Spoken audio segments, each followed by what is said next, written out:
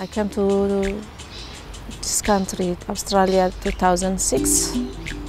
Since 2007, I'm in this building.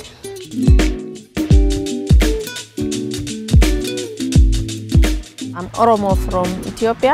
I came to Australia in 2006 after seven years in Nairobi, Kenya, uh, refugee.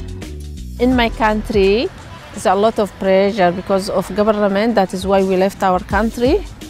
We don't have freedom. Australia is multicultural country. I feel that, and everyone is free. Everyone have right, equal right. Everyone have equal responsibility, even for our country. This is our country now, my country too. I like the community and the, all neighbors. I know them. Um, I didn't feel lonely here.